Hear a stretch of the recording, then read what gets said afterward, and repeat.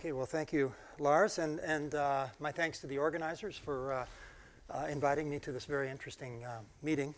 Um, so I'm going to um, uh, talk today on um, a um, topic which has to do with, um, with um, sort of, in a certain sense, an optimal localization of really initial data for the Einstein equations. And so, and so let me say what I'll do. Let's see.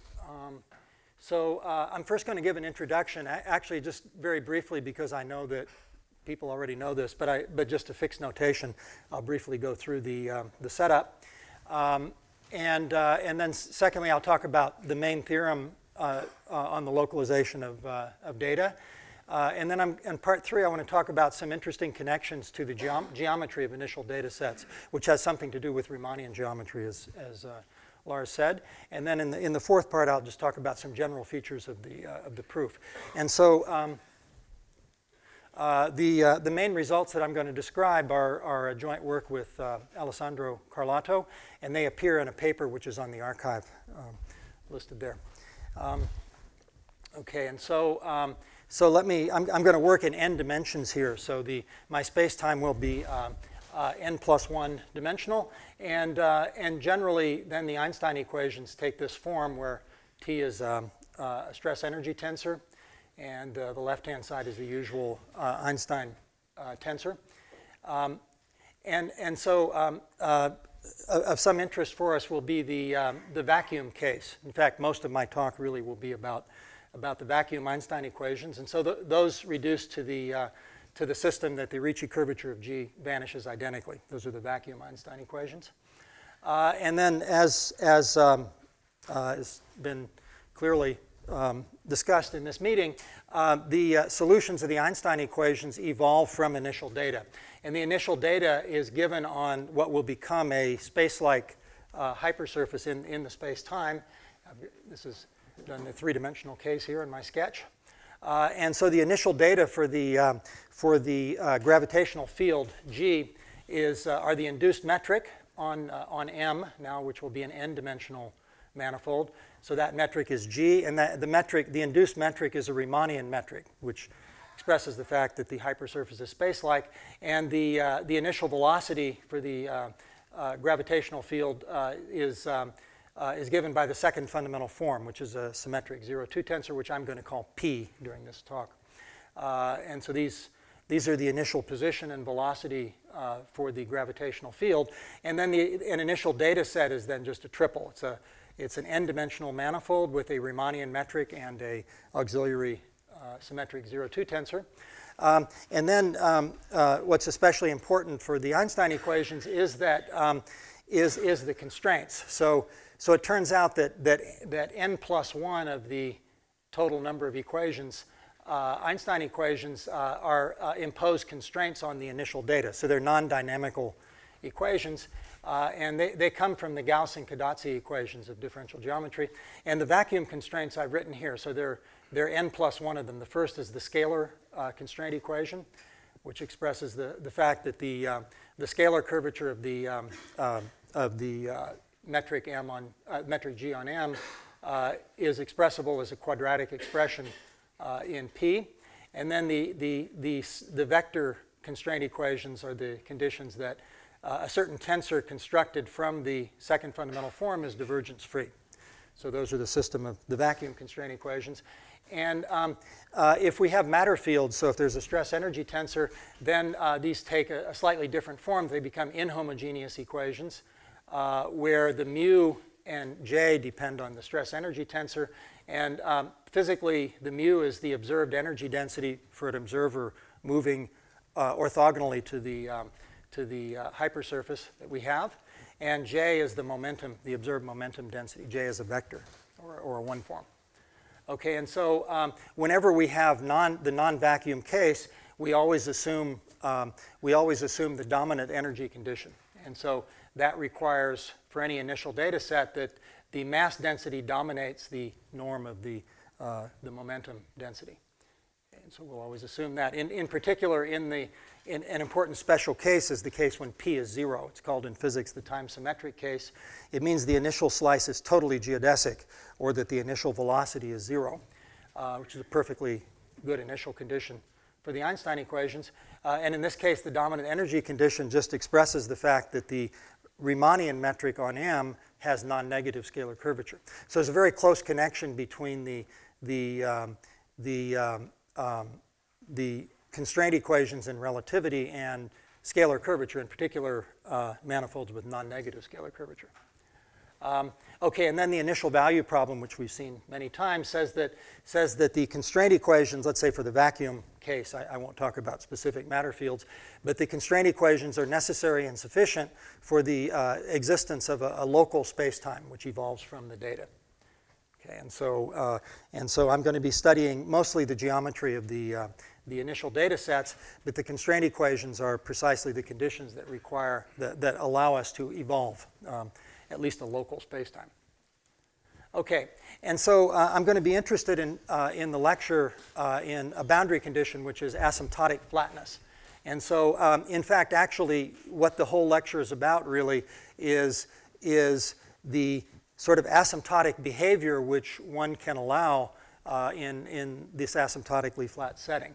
And, uh, and so I won't specify right now uh, what the fall off is, but the, the basic picture is that um, our initial uh, manifold M has some high curvature region, possibly some general region inside, but uh, outside a compact set, it looks very much like the Euclidean space. In particular, the uh, in suitable coordinates out here in the exterior region, uh, the metric falls off to the Euclidean metric at a certain rate, and the uh, second fundamental form falls off to zero.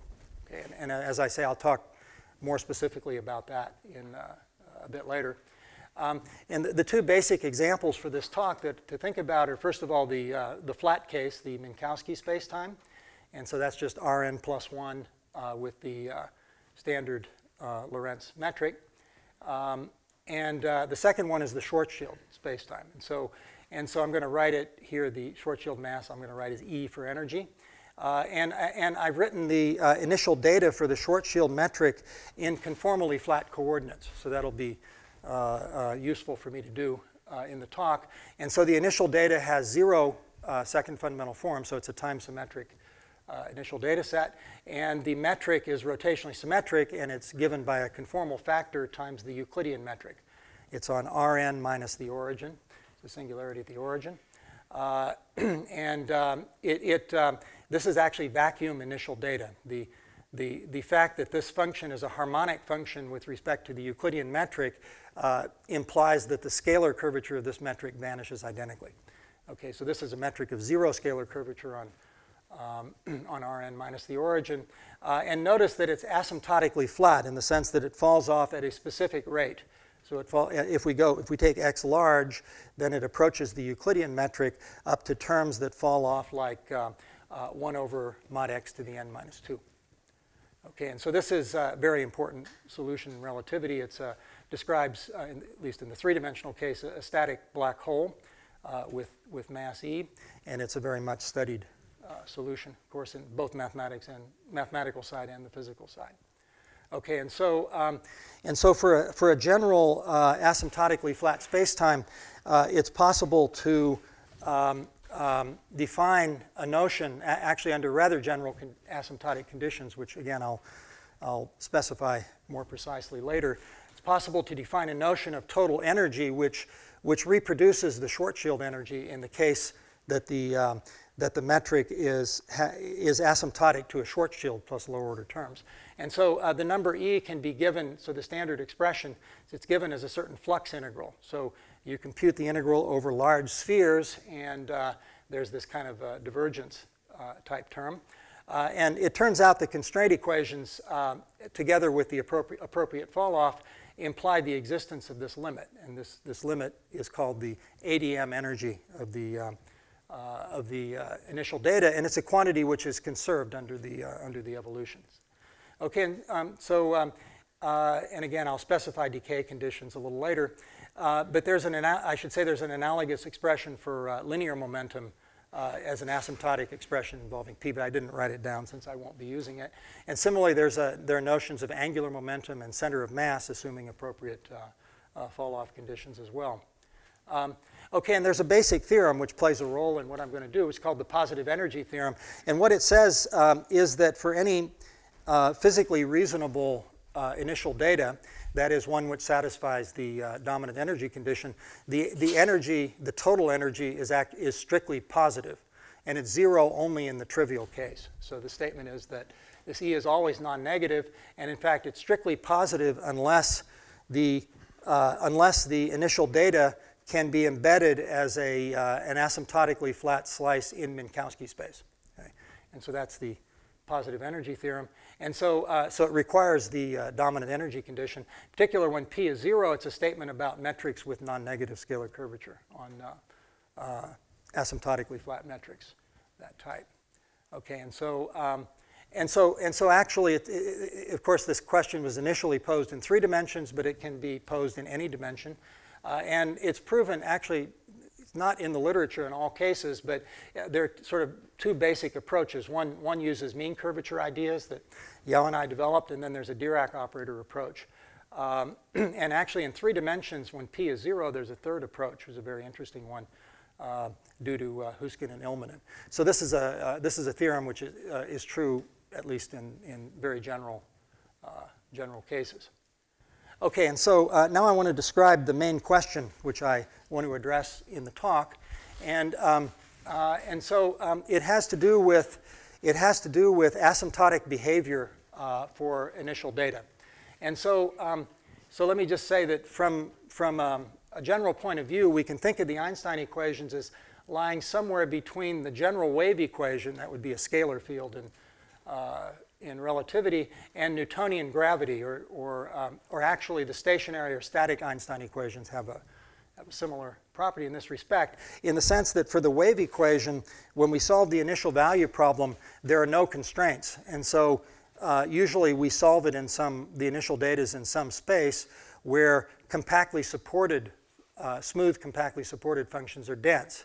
And so if you want to prove an estimate for uh, solutions of the wave equations, it's usually enough to do that for, for compactly supported uh, uh, initial data. So the wave equation, there's complete freedom in, in the choice of initial data. Uh, on the other hand, for Newtonian gravity, uh, the asymptotic behavior is really rigidly determined.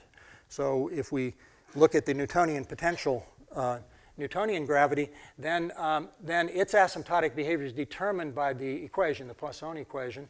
Uh, and the asymptotic terms at infinity, of course, involve physical uh, quantities. You can read the total mass from them and the center of mass, for example. Um, and, and the asymptotic form is unique. It's, it's, it's uniquely determined by the equation. And so um, the, the Einstein equation, uh, the Einstein equations um, have the same property as the Newtonian gravity in the sense that the asymptotic terms contain physical information.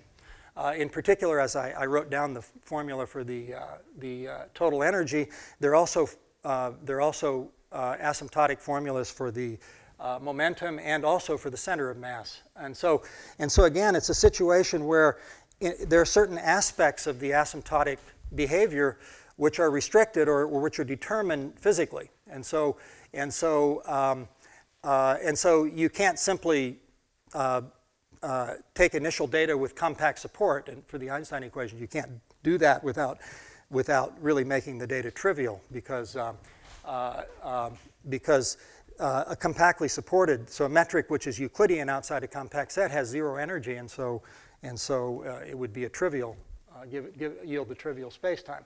Okay, and so, and so the, the point of view I want to take, and in, in fact I want to um, hope I justify this in the talk, is that um, there's, there's a lot of flexibility, and this is also partially known. I'm going to elaborate on it.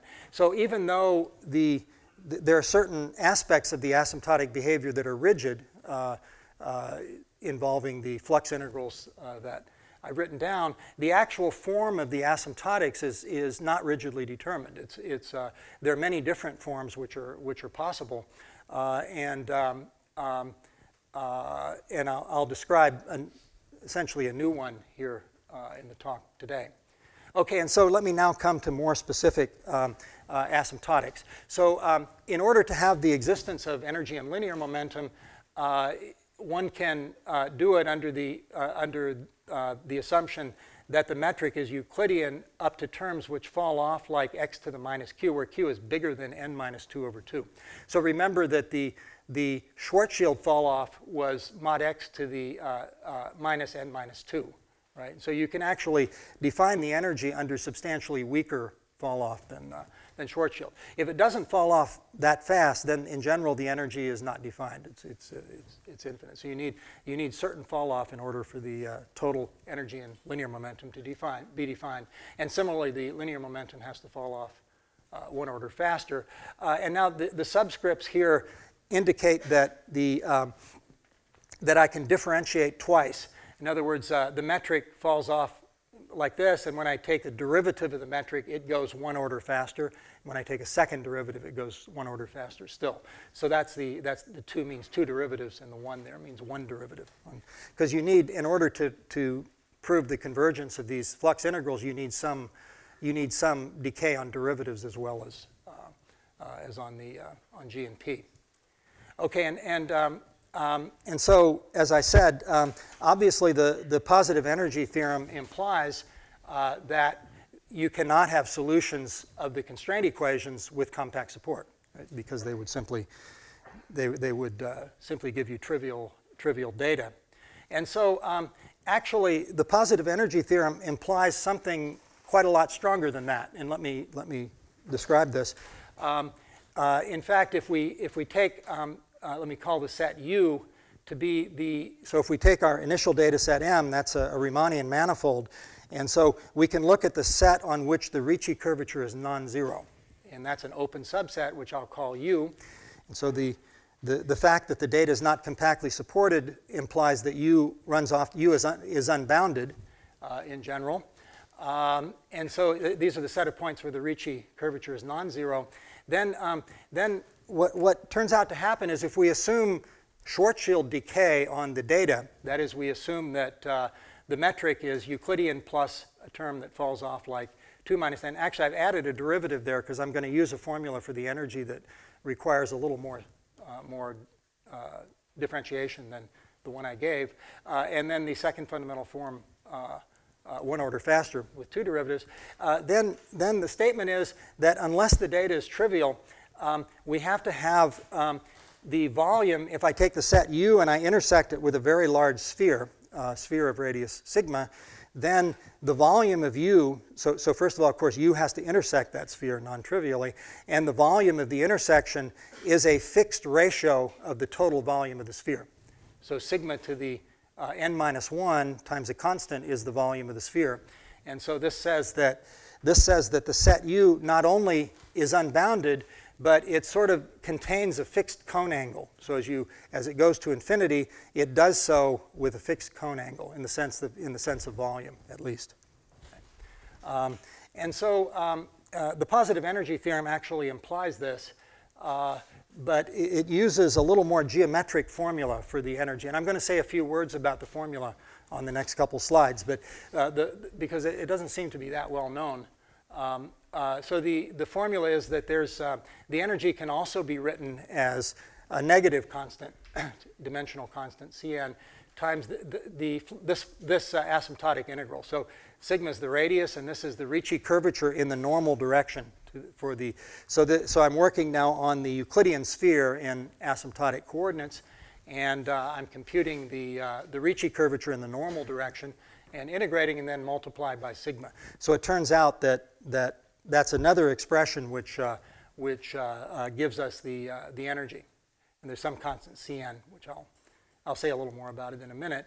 But using this expression, we can understand, we can prove the theorem quite easily because um, it, from the positive energy theorem, uh, if the initial data is non-trivial, then the energy has to be strictly positive. And so if I go out sufficiently far, the integral on the right-hand side has to be bigger than, say, e over 2. So for sigma large, this, the integral is bigger than e over 2. And then if I just estimate the integral by putting in absolute values on the Ricci, then I get that e over 2 is less than Cn sigma times this integral. Now, because I've assumed the Schwarzschild decay on the, uh, on the metric, the Ricci curvature falls off like, it involves second derivative, so it falls off like, like mod x, like sigma to the, uh, sigma to the minus n. And so, um, and so this term pointwise is bounded by sigma to the minus n. Of course, it's only non-zero on the set U. So, so on the complement of U, the Ricci is zero by definition. Okay? And so, and so I, can, I can replace the sphere by the set U, uh, uh, intersect the sphere, because otherwise the integrand zero. And then the decay estimate gives me sigma to the minus n, so I get a sigma to the 1 minus n, and then times the volume. Uh, uh so S sigma is just the boundary of B sigma. Okay? And so, and so the, the proof is, is very, very simple. It tells us that we cannot have a non-trivial solution uh, of the um, uh, vacuum constraint equations, say, or, or, or even the general constraint equations, uh, where the metric is Ricci flat in, in a set which is, which is larger than, than, uh, uh, than a cone.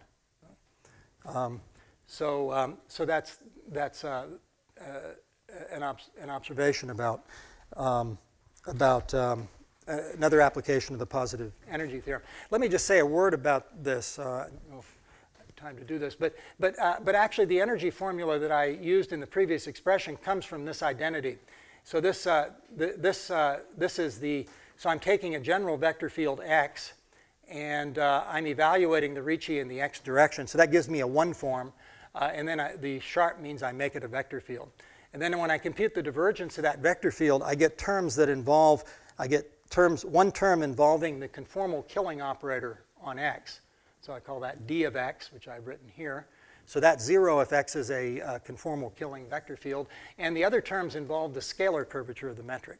Okay, so for example, in the, in the case of the vacuum constraint equations with p equals zero, that scalar curvature would vanish. And so the scalar curvature is a, is a term that, that is assumed to either be zero or decay quite quickly. Okay, and so, um, and so un under the decay assumption, so the same order of decay that we described, except you need, um, uh, you need again, three, uh, three derivatives. You can probably we get by with less, but, uh, but then, uh, then you can see that um, if we take the vector field x, which is just the dilation vector field in, in asymptotic coordinates, then uh, the right-hand side, if you just study the decay of those terms, you assume the scalar curvature falls off uh, strictly faster than r to the minus n, mod x to the minus n, then, um, then you can see that the right-hand side of that expression is integrable. So the fact that it's integrable on the space tells us that the flux integrals converge. Tells us that if we take the, a large annulus, we take a region between two large spheres, then the difference goes to zero. And so, and so that tells us that the, uh, this flux integral, the limit as sigma goes to infinity, uh, uh, exists. And in fact, it's not hard to see that, so near infinity, I can replace x by sigma times nu up to terms that, that don't affect the limit. So this is where that expression comes from. Um, and, uh, and then, and then the, only, the problem then is just to evaluate the limit. Uh, so what's, what, what is the value of the limit? Well, um, so, so uh, we can do that in, in, in three steps. So first of all, we can compute it for the Schwarzschild metric. And so um, and so it's a little calculation to do that, but it can be simplified a lot because uh, in the Schwarzschild case, of course, when I look at this identity, the right-hand side is zero if I choose, because the metric's conformally flat, the uh, radial vector field is a conformal killing vector field. And so, so, uh, so uh, the, and the scalar curvature is zero, so the right-hand side is zero.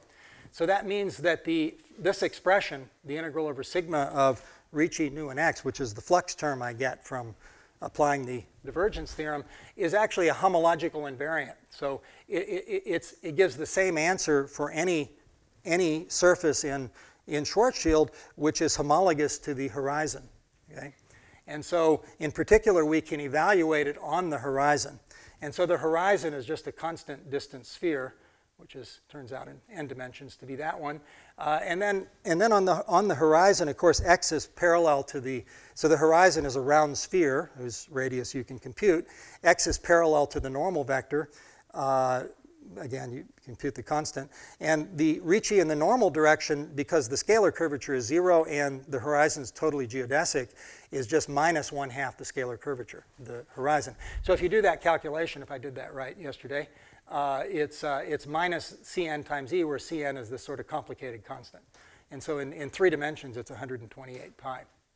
Okay, and so, and so once you compute for the Schwarzschild, you can then argue that any metric which is, which is Schwarzschild to leading order will have the same limit simply because the correction terms don't contribute uh, in the limit. And then finally, you can use a density argument. So you can avoid a, a rather complicated calculation by, by um, showing that, in fact, if you take arbitrary data satisfying the fall off, you can approximate it in uh, a topology in which the energy is continuous by the, um, uh, and, and for which the, the flux terms and the volume terms are, are all uniformly controlled, uh, you can approximate it by one which is Schwarzschild to leading order. So actually these kinds of density theorems were, Yau and I proved one, used one in our proof of the positive energy theorem, then there are extensions to the, uh, to the general uh, constraint equations as well. And so in particular, you can argue with almost no calculation that, uh, that this formula gives you the, uh, the, uh, the energy, the ADM energy.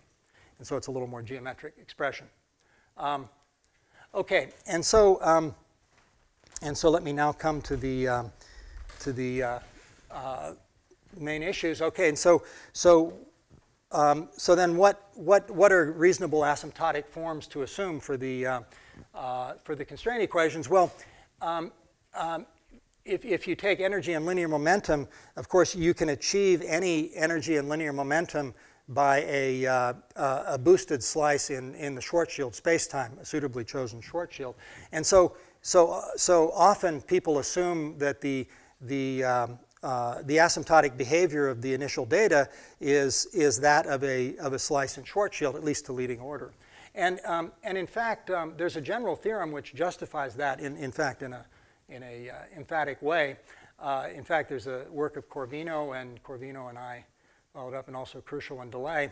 So, so we showed that, in fact, the, the set of initial data uh, which um, um, are exactly equal to, um, so which, so so given any initial data set, you can keep it fixed inside a large ball, and you can transition to uh, uh, data which is an exact uh, slice in the Kerr spacetime. So you actually have to allow angular momentum to do this. But, but um, uh, there's, um, you, you, can actually take any initial data which satisfies the very general fall-off conditions and approximate it by one which, which, uh, which is um, uh, a Kerr slice, exactly a Kerr slice near infinity, keeping it the same on, on, uh, on a, uh, an arbitrarily large, large ball, an arbitrarily large region.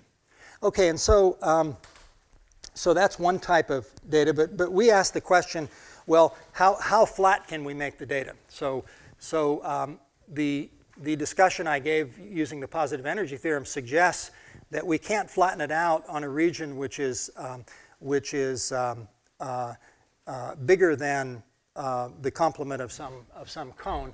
And so um, um, what we proved is that, in fact, you can, you can, you can um, uh, you can always localize the data in a cone of arbitrarily small cone angle. Okay, and so, so let me describe this. So, and I have a picture on the next slide. So, so what we, we do is we start with a general solution of the vacuum constraint equation. So we do this in the vacuum case. Um, so we start with a general solution, and, and we're just going to, well, in fact, I'm discussing it here for the uh, time symmetric case, but we proved it in the general the general case. So we start with a metric which I'm calling G check, which is defined, which is just a, an asymptotically flat uh, vacuum initial data set with p equals zero. Uh, and then we assume the, the, uh, the usual fall off. And I haven't specified derivatives here because you have to be a little careful about that. But um, uh, let's assume that Q here is between um, uh, n, n minus 2 over 2 and n minus 2. If Q is faster than n minus 2, then the, the energy is zero, so there are no no solutions like that. Um, uh, and the Q bigger than n minus 2 over 2 is needed for the energy to be defined. Okay, and so uh, what we showed is that we can find we can find a metric, and I have a picture here. So what we do is we take a cone which is based at a point far out in the asymptotic region. So I've drawn the, the cone there.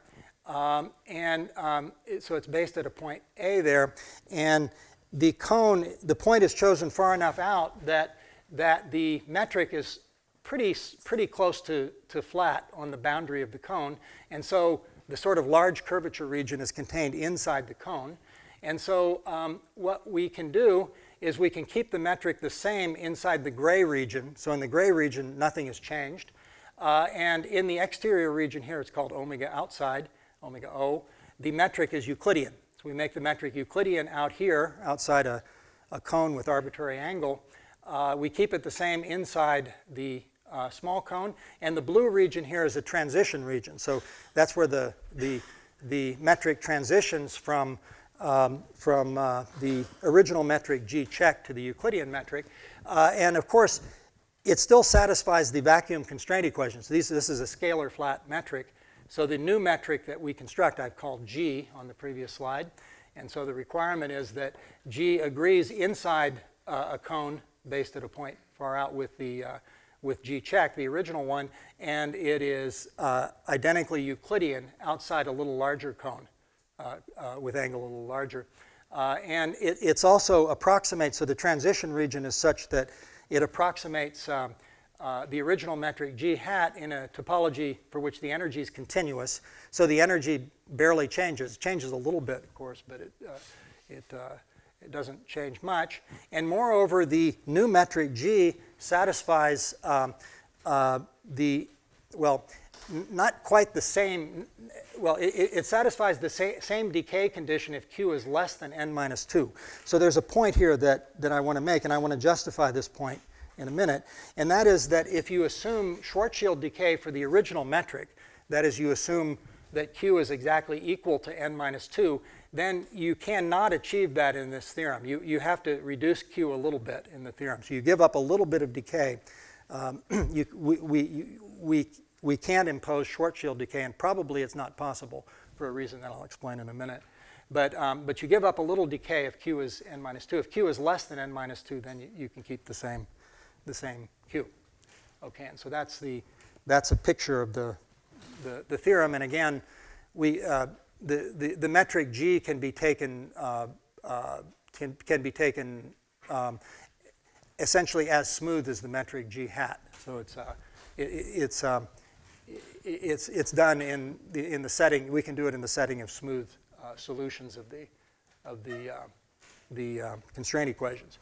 Okay, and so, and so let me, I have a little slide to describe a bit about the, um, the, this, this decay loss in the transition region. And so, um, so, uh, so notice I'm, I'm, I've required, in fact, the theorem wouldn't be so interesting uh, uh, if, if I were losing a lot of energy in this process. But the, the, the energy is essentially, uh, uh, essentially unchanged in, in the process. And so, and so that looks sort of implausible from this picture. Because if I started with a metric uh, g hat up here, and if I computed, let's suppose g hat had nice asymptotics, then if I computed the, the flux integral uh, over a very large sphere for the metric g hat, the contribution coming from the cone part would be very, a very small fraction of the, of the energy. And so I would expect the amount of energy inside the cone, that is in the gray region, to be, to be small if the cone angle is small.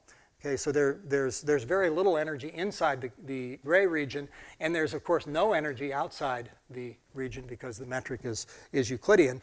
And so, and so what has to happen is that uh, much of the energy, if I choose the angle small, uh, most of the energy resides in the transition region. Okay, and that suggests that you at least cannot impose uniform decay of the Schwarzschild order, that is mod x to the 2 minus n, because that would, that would force the energy contribution to be small. So you lose a little bit of decay, and, that, and that's necessary because, because the transition region has to account for um, a fair bit of the energy, at least in certain, certain cases. Okay, and so, and so that's a justification for the, uh, for the uh, slight loss of decay in the, in the case of uh, Schwarzschild uh, asymptotics. Okay, so um,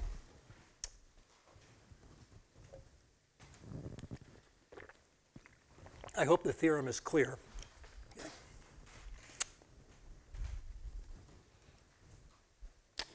Okay, and so uh, another interesting consequence of the theorem is that um, we can construct, we can sort of do, do superpositions of vacuum asymptotically flat solutions and construct new, new solutions where the solutions consist of um, um, non-trivial data in disjoint regions, and where, in fact, the solutions uh, uh, don't interact for a fixed amount of time. So, so what we can do, and again, I have a Okay, so we can superimpose solutions in such a way that they don't interact. In fact, we can superimpose so that the energies, um, the, the total energy of the new system is the sum of the energies and the, the momentum, momentum integrals are also, are also the sum of the momentum. And here's a nice picture of that.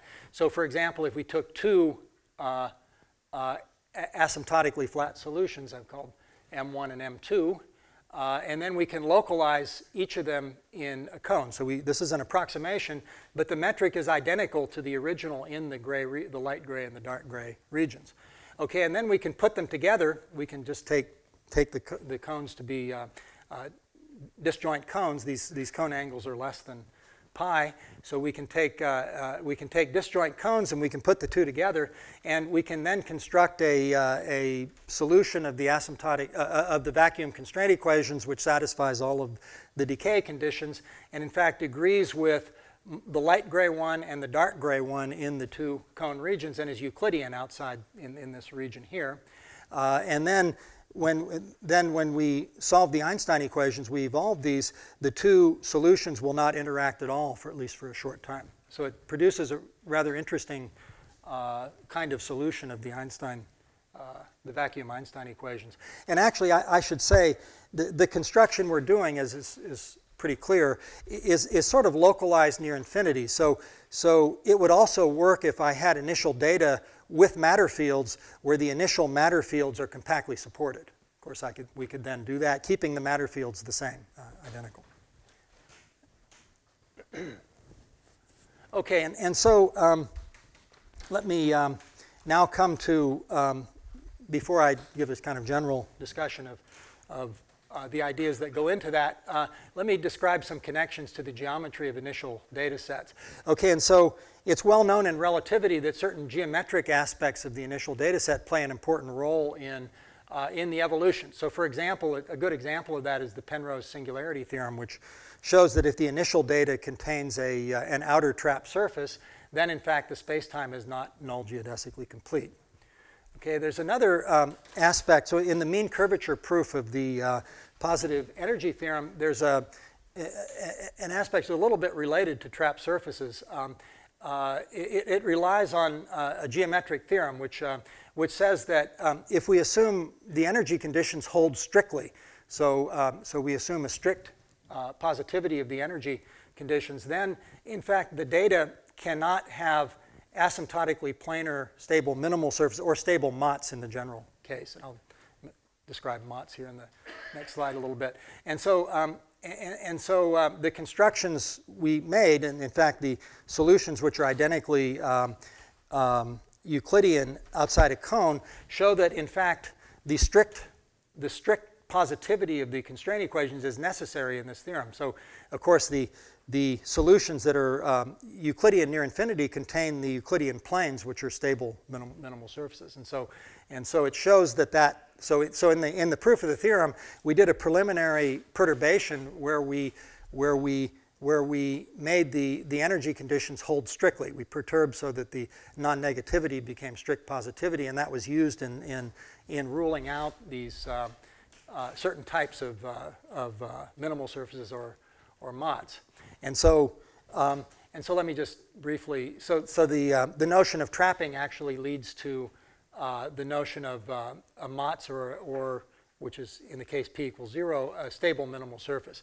And these are solutions of the, the um, this is for a surface sigma in the, uh, in, in, contained in M. So H is the mean curvature of sigma in M. And uh, this is the trace of P restricted to sigma. And so this condition that's called the MOTS condition. So the trapping condition is the condition that that has a sign, and the MOTS condition is just the, it's a marginally outer trap surface.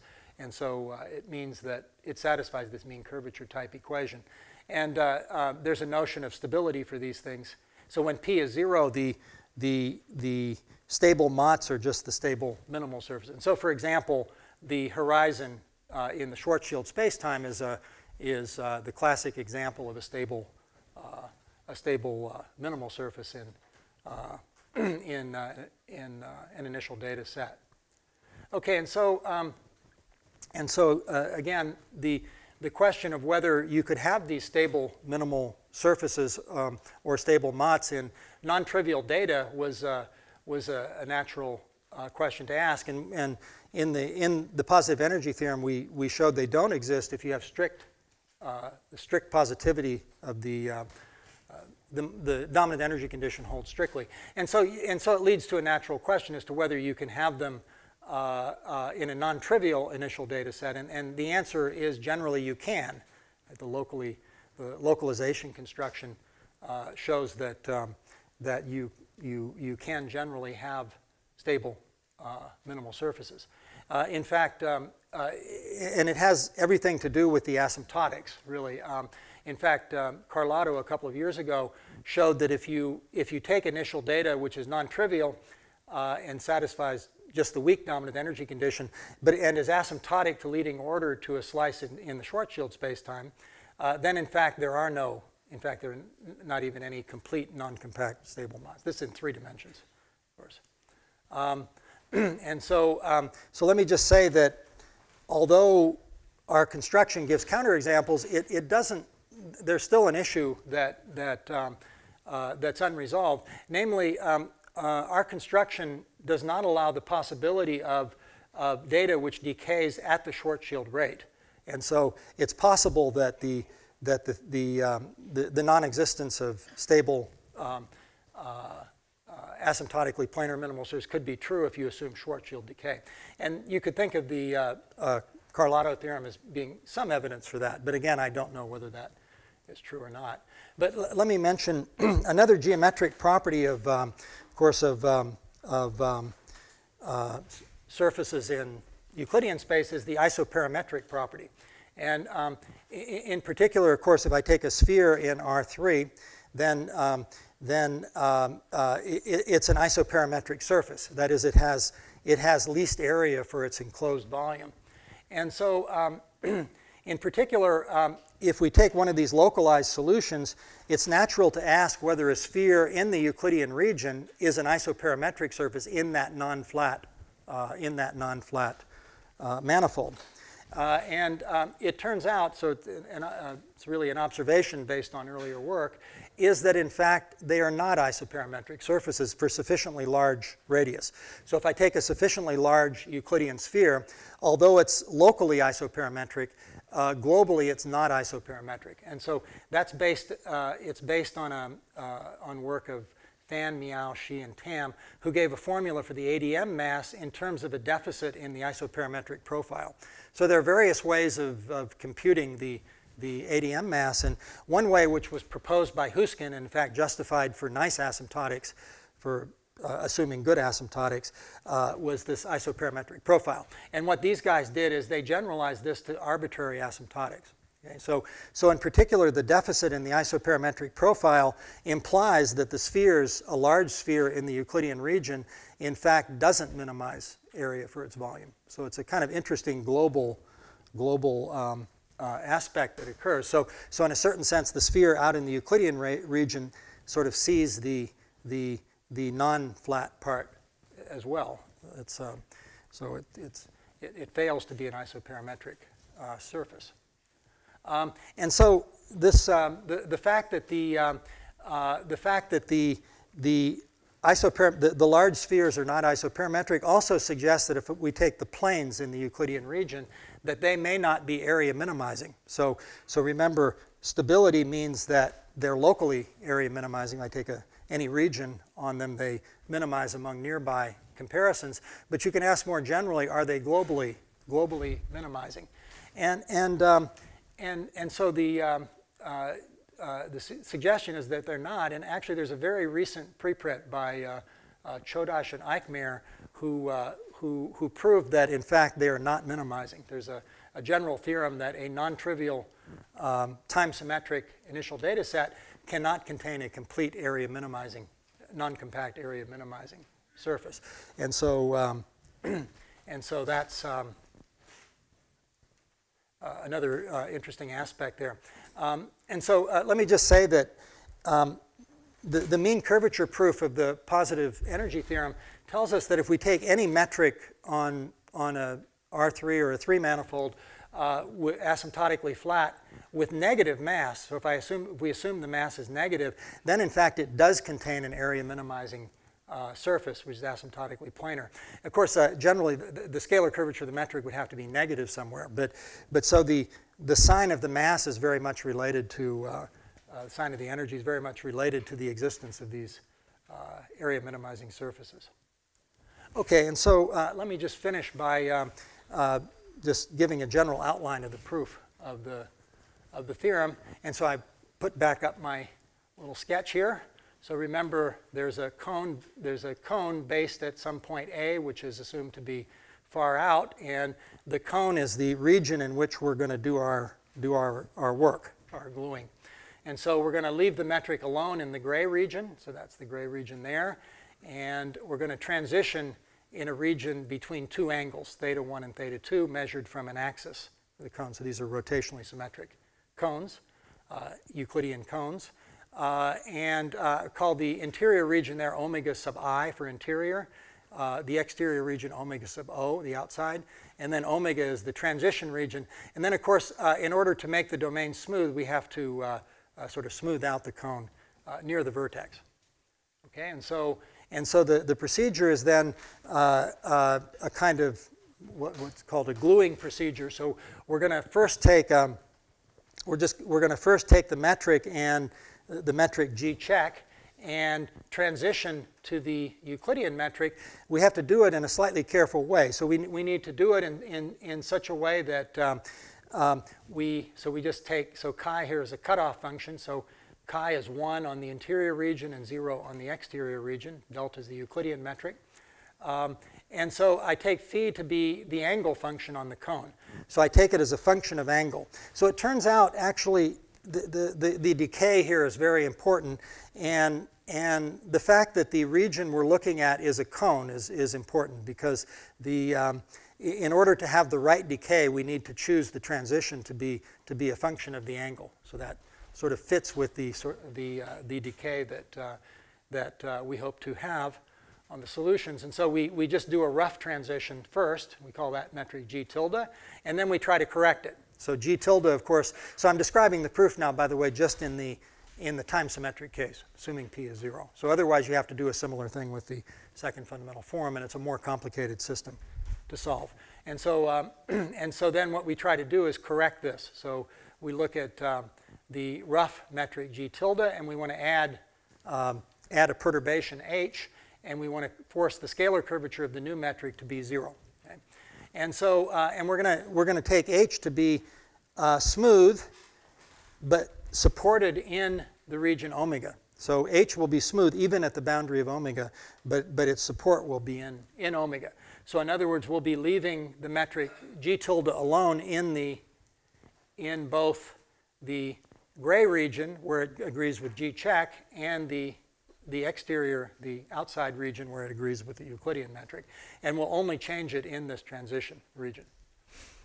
Okay, and so, um, and so we then, because the scalar curvature, the, the, if I take the point far enough out, the boundary of the cone, the region omega, lies in a, an, a, a, region where the metric is not real flat, but you know, pretty, pretty close to being Euclidean. I can sort of treat this as a, uh, as a perturbation problem. So I can, I can compute the scalar curvature of G and, and um, uh, write it as the scalar curvature of G tilde plus the linearization uh, of the scalar curvature map uh, at the metric G tilde and then plus quadratic, quadratic error terms. So it comes down to solving a problem like that. And uh, L tilde is the, a linear operator. Um, and, so, um, uh, and so we want to solve that equals zero. We want to solve it where H is supported in the region omega and has appropriate decay. So we want it to decay at infinity and also to, to decay rapidly at the boundary of the region omega. And so that's the problem. And so, and so you have to study this operator carefully, so I've written it down here. Um, and, um, and then the, the adjoint operator also plays an important role because um, we're trying to uh, prove surjectivity of the operator, and that's related to injectivity of the adjoint operator. And also, uh, we use the fourth order operator, L, L tilde times uh, composed with the adjoint. That's a kind of, that's a biharmonic. So that, uh, that's, that's an operator which takes functions to functions, and the leading order term is the biharmonic. And then it has lower order terms that involve uh, R tilde and its derivatives. Okay, and so, um, and so the idea for solving this problem, so if we want to solve uh, L tilde plus QH equals F, so F is some function supported in the region omega, we want to solve with H supported in the region omega. Uh, we do it by, by first studying the linear problem and then, and then getting sufficiently good estimates in the right spaces and then using a sort of uh, Picard iteration to solve the nonlinear problem. So it's like the inverse function theorem, but in very complicated spaces because we have, we have um, uh, decay conditions that are rather difficult to achieve. Um, okay, and so we need, we need, we need the uh, surjectivity of L tilde. And so again, the surjectivity of, of L tilde is related to the injectivity of the adjoint. And so it turns out the basic estimate in this problem is, is the following. And so these are, these norms here are, um, these norms are L2 Sobolev norms, and the minus S there in, is the decay. So so it means that the solution in the L2 sense decays like mod x to the minus s. Uh, and um, uh, and this, this is again taken in the region omega. And so the basic estimate is that if I take a function u uh, in the region omega, say a smooth function, uh, which decays at infinity appropriately, then I can estimate this term, provided s is positive. So these are L2 Sobolev norms. And now the key thing is that is that there's no boundary condition imposed on u. So, th so this is a, a, rather atypical sort of Poincare type inequality in that, in that, in that it's true without boundary conditions on, on u, provided we're in this suitable space, decay space. Okay, and so, and so this, uh, this is actually the basic estimate. And, and the way it's applied is, um, um, so, so again, the, the, the, um, the, the dual spaces, so if I, if I take a space uh, which decays in uh, uh, functions that decay in the, in the, um, the um, L2 norm, so H0 is L2, uh, like minus 2 minus q, uh, then the dual space is decay 2 plus q minus n. So the way the, the, uh, the, the dual spaces work, and that's actually justified by this, this inequality. There's a pairing between these two spaces which is bounded in terms of the spaces. Okay, and so, uh, and so in particular, um, the basic, the way this is applied, the basic estimate is that we're going to take S to be n minus 2 minus q. So this is why q has to be less than n minus 2. So this number has to be strictly positive in order for the basic estimate to hold. And now the right-hand side, the, uh, the decay here, q minus n, is chosen so that the dual decay is exactly minus q. Okay, so, so the injectivity of L star in, this, in, in these spaces is going to give us the surjectivity of L in spaces where the, where, it, where the solutions decay like mod x to the minus q. So, so that's why, that, that's why we, um, we, uh, we need q strictly less in order to solve the equations to get this basic, uh, basic estimate. And actually the bound is, is simply not true when q is uh, bigger than or equal to n minus 2. So, um, and so again, the basic idea is that the injectivity of L star implies surjectivity of L uh, uh, between the dual spaces, and, and the L2 dual of this decay is exactly x to the minus q decay, which is what we want to we want to achieve in our problem. And now the other the other point is that since we didn't require any decay near the boundary of u, the dual condition would be rapid decay near the boundary. Okay, and so what we can hope to, what we, what we can do is we can construct solutions for the linear problem in spaces where we have both rapid decay near the boundary of omega and decay like mod x to the minus q near infinity.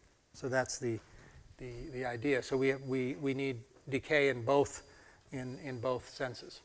Okay, and you have to carry all that out. Actually, the proof is quite technically involved. It's a, it's a, uh, it's a uh, quite a difficult analytic argument. And so let me just, let me just mention so, what some of the technical issues are. Um, so first of all, um, I mean, one of the key things uh, in, in earlier gluing theorems of this type, like in the Corvino theorem or um, the, the other theorems, the, the transition region was a compact region, and that made a huge, made, made life much easier. In this case, the transition region is in fact non-compact, and this, this creates a lot of difficulties in doing the problem. In fact, um, uh, but, but of course, one thing that helps is the, is the homogeneity of the region, the fact that we have, we have homogeneity. So that's, that's quite important, uh, both for the basic injectivity estimate and also the higher order estimates that, that, need to, that I haven't described.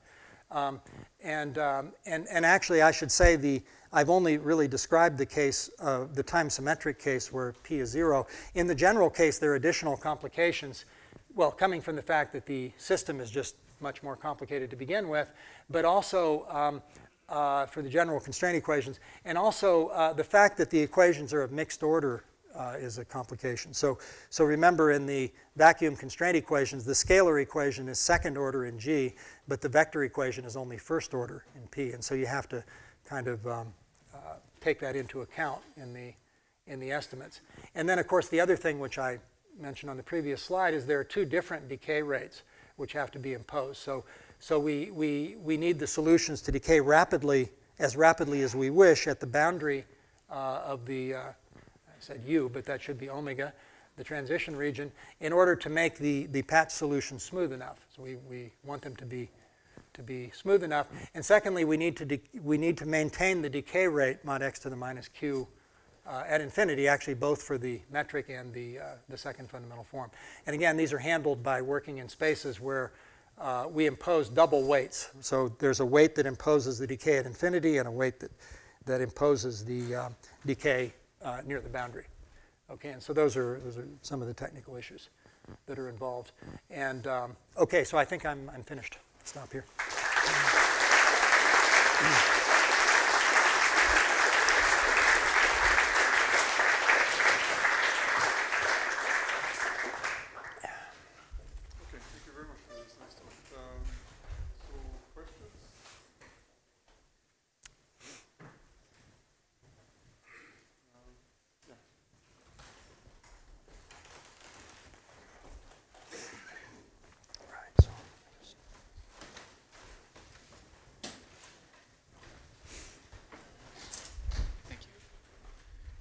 Thank you. Um, when you choose your, your cone, um, can you choose it as thin as you want, or?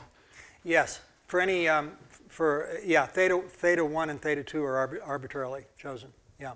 Of course, it affects the decay rate. Uh, well, it affects the constants. We we can also keep the same same decay rate, but we can choose it then. Yeah. Okay. Thank you.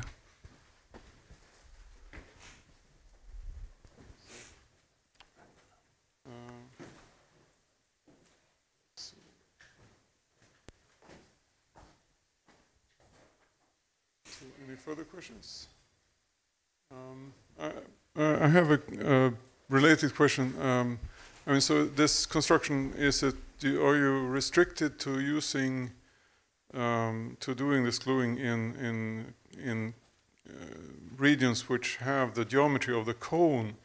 I mean, now you can do. It seems like you can do almost anything. So can you also glue in a region which is not, um, which which is more general than, a, than uh, such a cone in Euclidean space, so to speak? Well, um, the, uh, the, the, calculation, the, the, theorem we gave in terms of the, uh, the, uh, the non-flat set says that you can't expect to do it in a, a region which is too thin uh, without losing, without losing substantial decay. Yeah. So if you, if you took a region like a strip, which is, which is uh, somehow bounded, then I wouldn't expect to be able to get to, to do it. Now, it may be that there could be a, a very subtle theorem that if you, if you take something which, which is slightly less than a cone near infinity, you can do it provided you weaken the decay sufficiently. Mm -hmm. um, but we haven't done that. So our, our, uh, we've done it really just in the, uh, in the case of cones. I, I, suppose you might be able to do something in regions that are asymptotically conical. Uh, yeah. But no, mm. I think it would be quite hard to change the geometry too much. Mm at infinity. Okay, very interesting. Um, okay, so, um, well, I think, uh, so uh, I think, so let's wrap this up. So I'd like, I'd like to thank uh, Rick again, and we should also thank all the speakers in the conference and the participants. And so on behalf of, of Philippe and Sergio, uh, Yeah, thanks also to the organizers. thank you.